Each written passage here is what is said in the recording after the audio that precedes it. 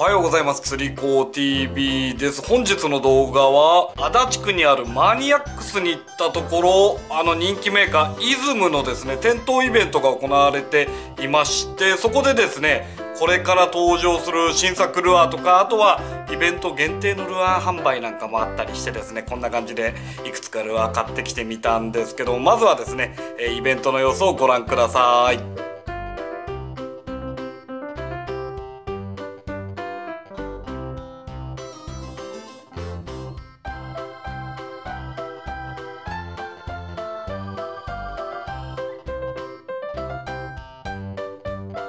まあ、これが、えー、月末発売のメテオロスというメテオロスけど、はい。あのー、マグナムクランクってどうしてもこう、ボディ容積が大きいので潜りすぎるんですよね。それをあえて潜りにくく設計したクランクで、えーまあ、ロッドワークとかリトリーブの速度とかで30センチから2メートルぐらいっていう、非常にレンジコントロールしやすく、おかっぱりとかシャローウォーターに使いやすいっていうマグナムクランクですね。あの、大きなクランクって魚寄せる力は強いんで、非常に釣れるんですけど、どうしても野池とか、まあ、シャローのフィールドの人たちで敬遠してたところがあったんで、それを、あの、そういう人たちにも使ってもらえるように作ったクランクベイトです。はい。それもまだチャットも出てあ、ない。これは間もなくです。ちなみに彼が開発しました。はい。10今、こんにちはこんそうです。こんにちは。はい。はじめまして、出雲プロスタッフの江尻優馬です。えっ、と、今回ご紹介させていただくのはこちらのクローザー SR っていうモデルで、先に発売になってたクローザーのオリジナルモデルよりも浅いレンジを攻略することができるようにしたシャローモデルになるんですが、まあ、オリジナルと違う点としては浅いレンジをサーチできること以外にもボトム障害物をタイトにトレースすることが多くなるためにオリジナルの重心移動システムを使ってたんですがこちらは固定重心にしてありましてボディシェイプのおかげで飛距離もアップしたので固定重心にしたのもアクションの質を落としたくないがために固定重心になってます。であとは栄光先行の角度が浅いので霞水形などにある浅いレンジとかも先に早くボトムにないように浅く長い距離浅いところを巻けるようになってますのでぜひ場所問わず使ってみてくださいはい、えー、イズムの流れです。えー、アングラテールっていう、えーワームが、えー、イズムファーストリリースとして出されたんですけども、まあ、パッケージに入っている状態は、まあ、ここのようにくっついてまして、まあ、パドルテールのような形で使っていただけます。まあ、パドルテールの、えー、と状況下としては、まあ、リーダーレスダウンショットや、まあ、ジグのトレーラーとかですね、に使っていただいて、まあ、ピンスポットを、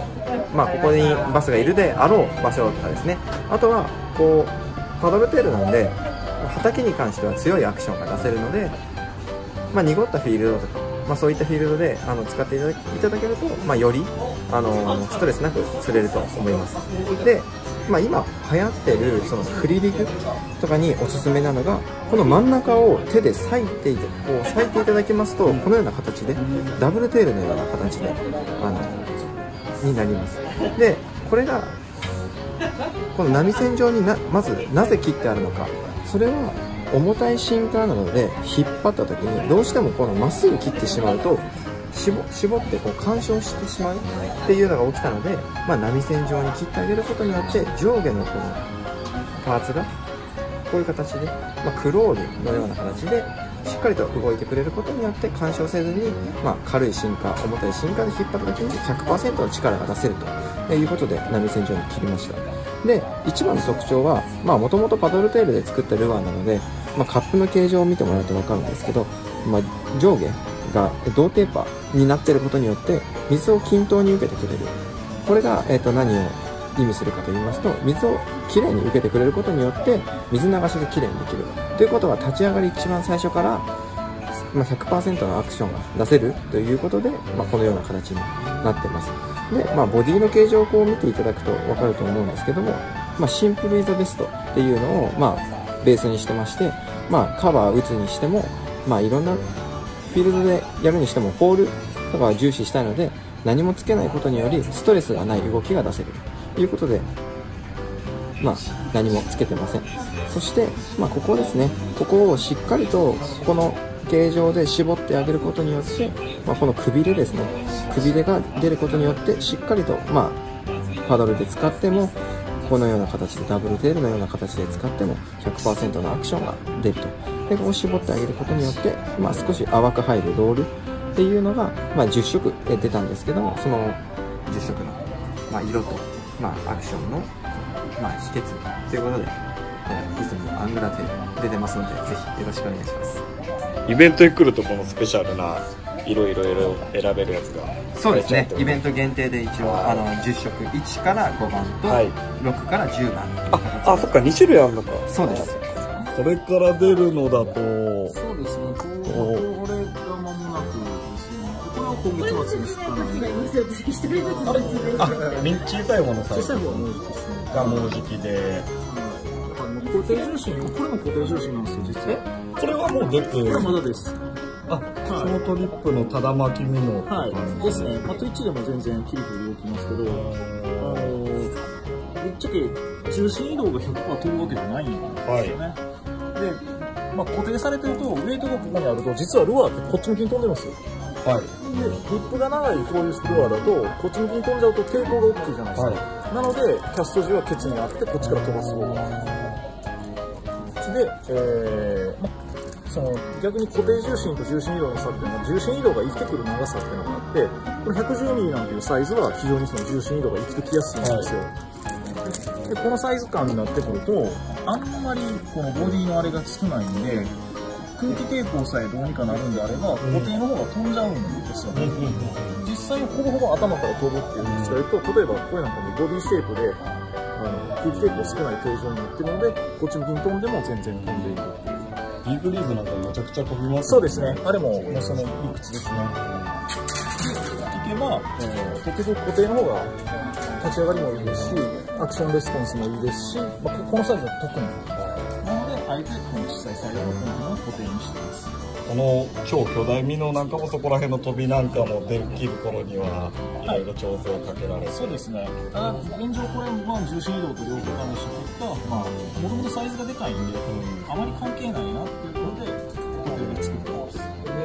これは今のところ何センチで出てくる？180 180 8センチです。はい。既存のスイムジグってどうしても根がかりさせないために障害物例えばウィードの上っ面を当て持って引いていきましょうとかはいするんですけど、あのまあ、いきなりじゃあ、ね、釣りしてます、まあ、そそこそこエキスパートでも当て持って引いてくるってすごく難しいんですよ。じゃあ何も考えずに引くことをしようと思ったら当然根がかりの問題が出るんですけどそれを解消しようと思うとオフセットフックっていう必要性があったんですよね。ただ従来のオフセットフックのモデルってスプリットリングかましてヘッドについてるんでブラブラで、まあ、リングの都合がつく分横向いちゃったりとか普通に起きるんで、まあ、バスの口に入ってもこうフッキングせず横向きですっぽ抜けるみたいなことがさらに起きたんですよ。でそれをフッキングを解消するためにと思って、えーこのヘッドに対してこういう形のオフセットただこのままこれが固定されてるとワームが潰れてくれないんでフッキングしないんで、えーまバスの口に入りましたの時にこうヘッドが動くことによってワームが潰れてフックポイントが出る。でフッキングすることによってこうテコの原理でしっかりと、えーバスの上を貫通することができるっていう、まあ、まあまあ究極の、えーウィードレスのスイムジムだと思ってます。で特にあの形状的にボトムで立ちやすいんですよ。なのでいわゆる普通のラバージグ使いもできますし、まあ、スイムジグ使いだけでなく、えー普通のラバージグでも使える、まあ、うまくいったらハイブリッド的な非常に使いやすいジムになってます、イベントに来るとこういうスペシャルカラーも買えちゃうかもしれない。そうですね。ある時は。ある時は。このアソートセット買って帰りま すんでいろいろと試します。すいません。ありがとうございます、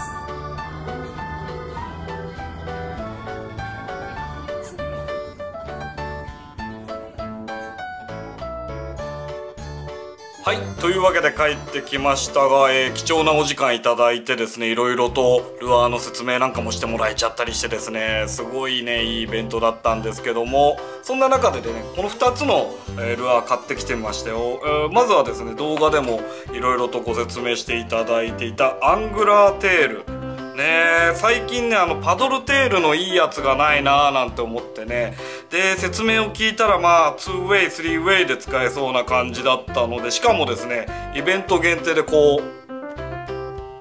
5色ね、色が入っているっていうことでこれと、え、別の5色全部10色の中の、え、5色がいろいろ入ってるのとこの5色が入ってるのね、えー、結構ね好きなねスカッパノンっぽい色と黒色が入っているんでこちらのね、えー、セットにしてみました。じゃあねちょっと早速開けていきたいと思いますけども。見やすいのこの色。これね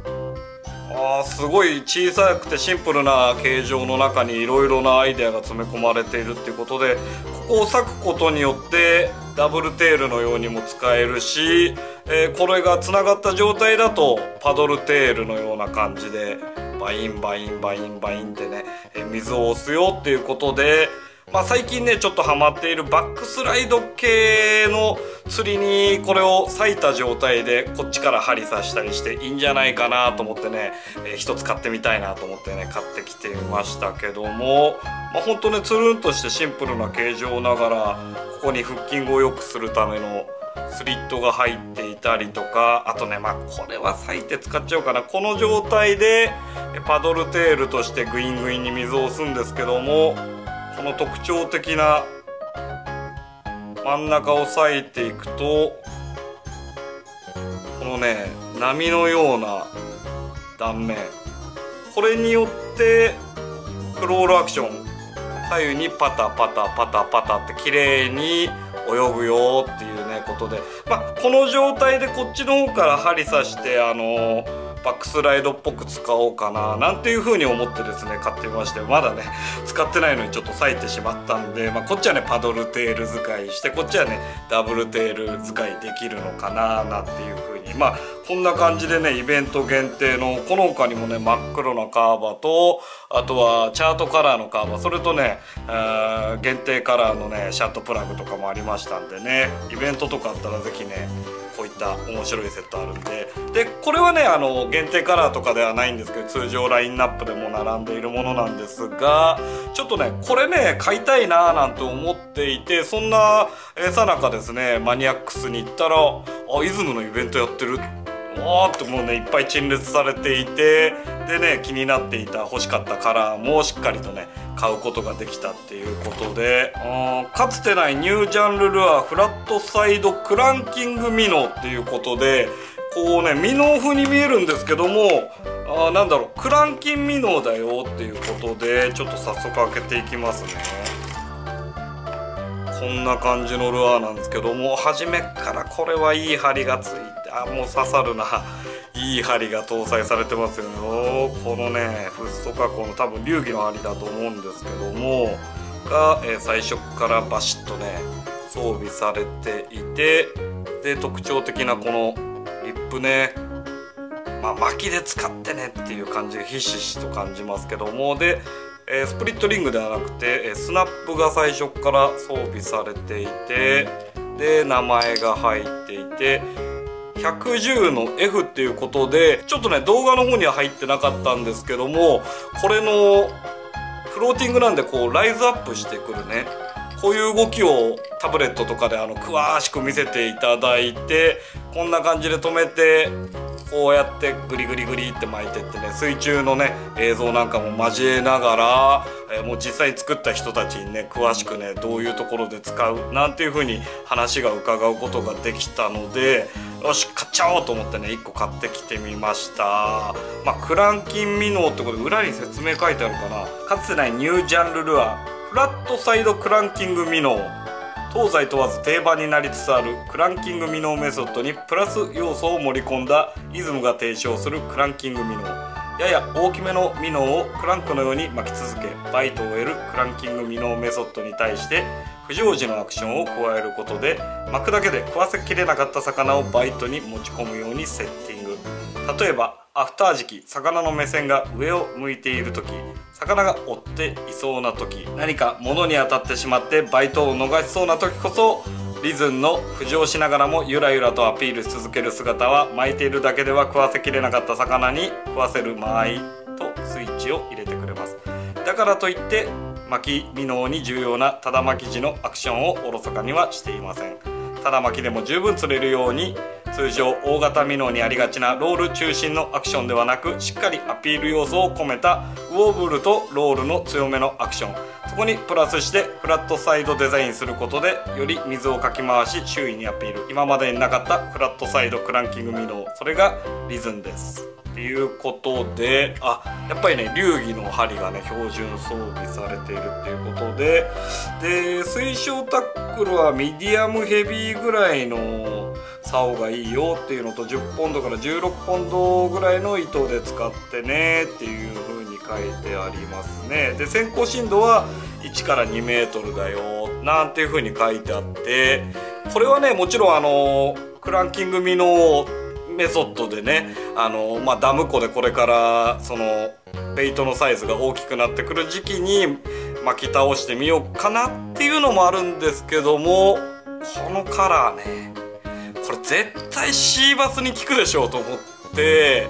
これからね秋のシーズンの、まあ、ベイトがねちょうどね稲っ子とかね徐々にサイズアップしてくるシーズンなのでただ巻きで魚分ロールでね動きが良くてそんでもってトリプルフックでこう魚のバイトを絡め取るようにの感じはあと先行深度 1m から 2m ね。これ絶対ねシーバスに効いちゃうななんていう風に思ってねこれもね、えー一応ボックスに入れておきたいなと思って買ってきていました。この他にもあの超巨大ねミノーなんかのねあの巻いてる動きなんかもいろいろとタブレットとかで見せてもらったんですけどもまあねただ巻きでガチッとね食わせるようなコンセプトのプラグが多い印象のメーカーですからね。ってことはまあもちろんバッツリにはね、えーバッチリ効くと思うんですけども多分ね東京湾のシーバスにもねいい感じのルアーがね多いんじゃないかななんて思ってしかもこれねちょっとねこの白っぽいカラーだし